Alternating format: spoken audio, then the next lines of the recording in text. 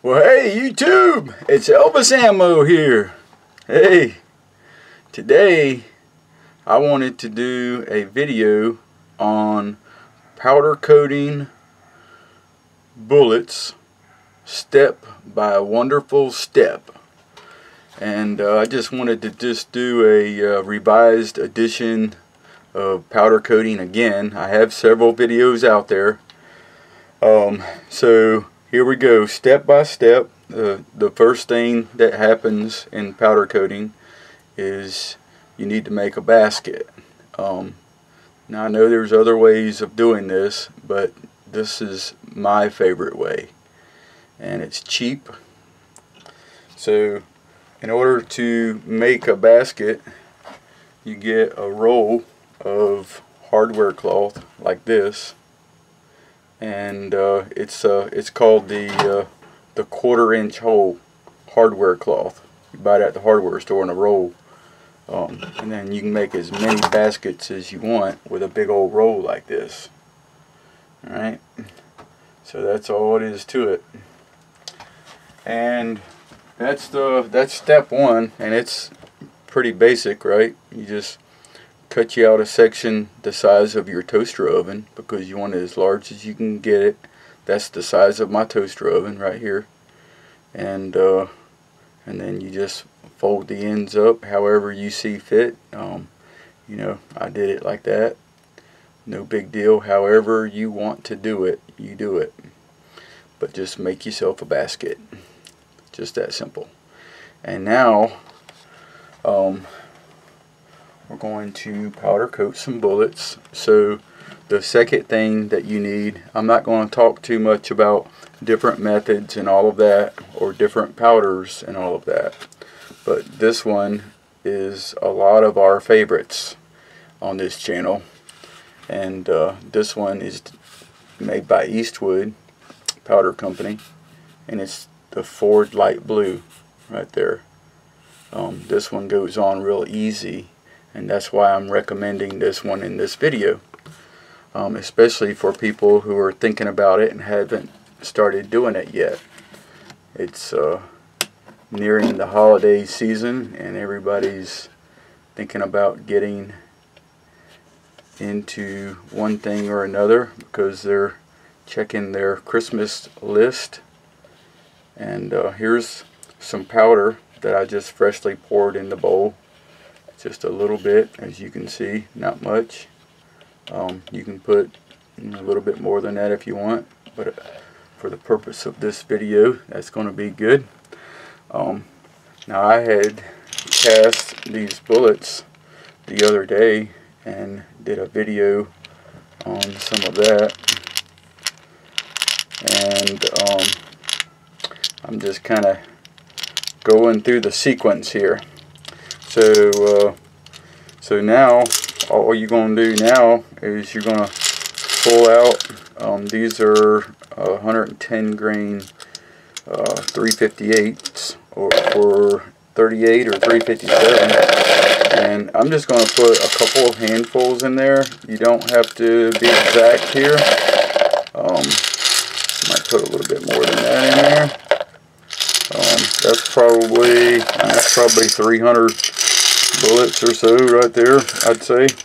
I'm just going to do a small batch right there, like that. You can do more than that, you can do less than that. And, um, and I guess I should have noted, um, this, the bowl that we're using here is, eh, let's see, let me make sure um, this is a little different bowl. Uh, okay, okay, okay, okay, okay. That's uh, actually a uh, number two. And um, generally what people like is a number five um, on this little recycling triangle thing here. A number five is what you're looking for. But for some reason I'm getting it done in the number two. So just uh, note to self. Um, I just threw that out there because that's some of the things that people like to talk about. So now we put our we put our bullets in there, and then we're going to close the lid now this method that I'm using with the Ford Light Blue um, is very easy. Um, in most cases people are successful just putting it in our bowl and shaking it around for about 30 seconds or so and then pouring them in the screen and having success with the powder sticking that way.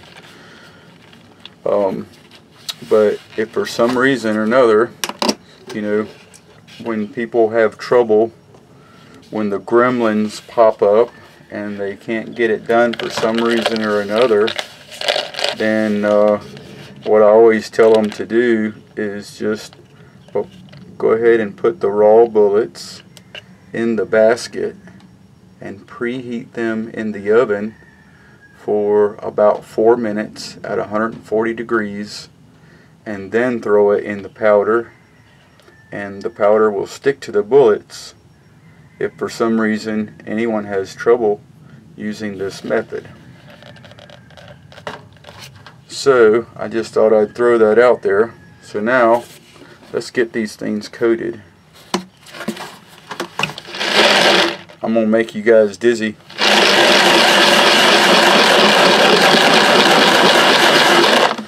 And uh, hurt your hurt your ears at the same time. and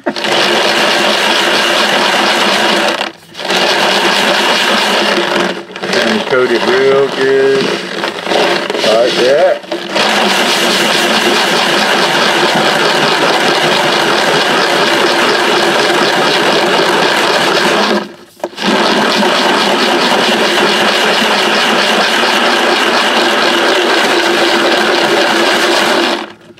My lid's splitting on me. but look at there. They are coated just beautifully. Look at that. So now what we're going to do is we're going to screen out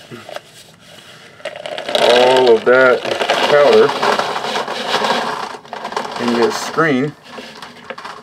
Dumping it right out there like that and we're going to shake the powder off like that. Make sure you get it off good. And I'm to spread them out like that. That's how I like to do it. And uh, and then what you have is you have this powder that's left over here. And we just take on our that was the next thing that you have is just a, a piece of cardboard only a small piece like that. And then you set your bowl down. And I use just a little spatula. And I tap the cardboard to get all of the powder back in the bowl for the next go around. Like that. There we go. So now going to place this in the oven. So we're going right in the oven here.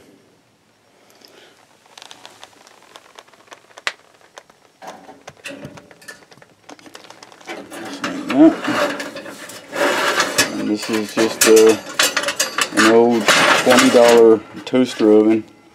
Actually, I'm not sure what it costs because someone give it to me. So uh, so there they are right there. They fits real nice in the oven. And I'm going to close the lid. And I'm going to set the oven for 20 minutes at 400 degrees or I'm going to go a little bit less on it and uh, whenever those bullets are done I'll bring you back and I'll show you what the next step is. Alright so the timer just went off. So now we're to take these out of the oven. And uh, for people that don't know um, the reason we coat these bullets that's never people that's never coated their bullets with powder coat and don't know what the heck I'm talking about, just for you guys, um, we coat these bullets with the powder coating like you saw. And that's our way to in lieu of lubing the bullets it's a polymer jacket. That's what we have here. So now we're going to take these out of the oven and I'm going to put this through one more step that I don't normally use and I'm to quench them in water for uh, and uh, and it and it has helped in the past. In in many cases help the bullets separate. So we're to do that. So we're just to go over here and I got a bucket of uh, a pan of water set up right here and I'm just to flip them right over into the water and hopefully I don't toast my camera okay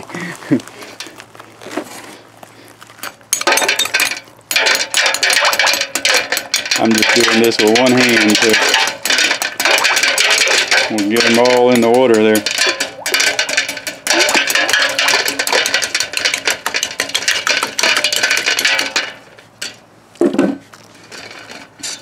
This ain't easy with one hand.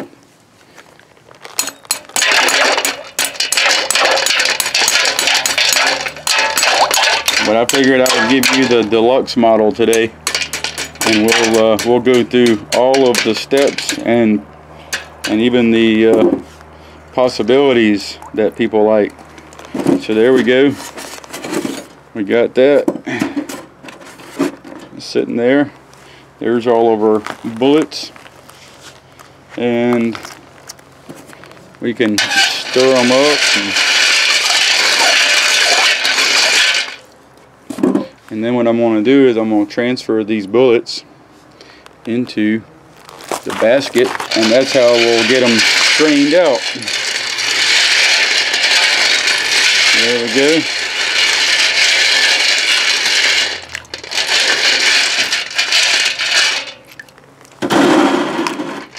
Throw them in there.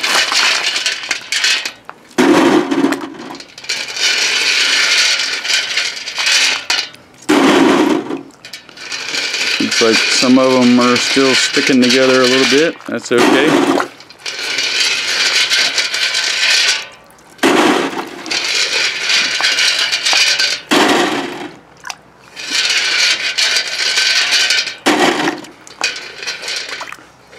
And I know what some of you guys are saying. You're like, well, why in the world don't you just pour it in there? Well, that's probably what I should have done.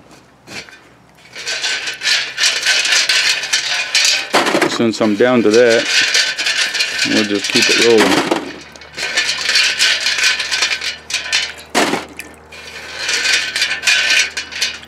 So I'm giving you guys the deluxe model today.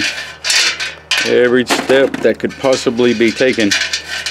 So some people like throwing it in the water out of the oven. They say it helps them unstick. And uh, and I've noticed on uh, a couple of the methods that I use it does it does seem to do pretty well.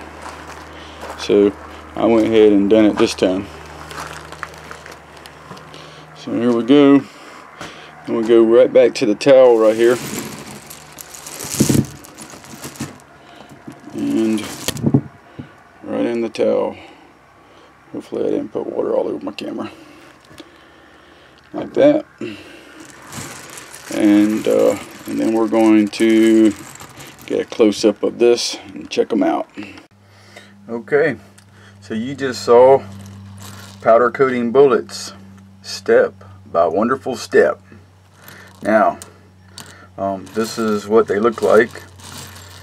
Um, the only other step to do of course is to if we need to size our bullets and then load them up right um, so we have some that are stuck together here and it looks like they're breaking apart very easily but they are leaving a little little tiny mark on there but um, I know for you OCD folks out there like loads of bacon he comes to mind he uh, like he likes to stand his bullets up. Now, for me, my targets just don't know any better about you know really beautiful or just beautiful. Now that one is uh, stuck together pretty good. Um, now a lot of times what I do is I'll just, you know, just kind of start out like this, but I wanted you to see, that way we'll just knock the ones that are real easy that's going to come apart. I wanted you to see exactly how everything looks. So we had a little tiny booger right there from some powder coating that was already on the the the um, mesh there, the basket. But these uh, this is uh, these are just wonderful guys um, you know I mean there is nothing to not be proud of with these bullets right here okay I'll let you look at every angle of them I'm not picking or choosing all of the the few that I'm gonna break apart is just no big deal I'm gonna break them apart and then I'm gonna load them up and I'm gonna I'm gonna shoot them so there it is, powder coating, step by wonderful step. Those three just came right apart. And uh, you've seen every step of the process.